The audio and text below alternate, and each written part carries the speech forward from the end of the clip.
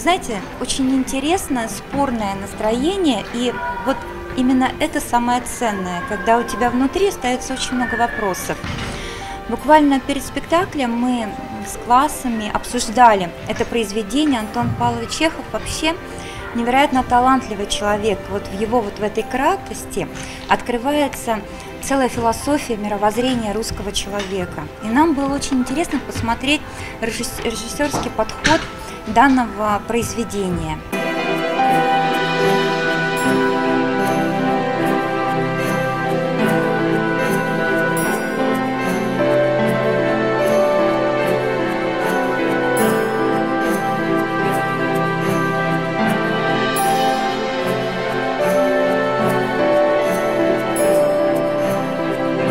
Нам очень понравился спектакль, потому что актеры очень хорошо выразили эмоции персонажей и героев, которые описывались в произведении.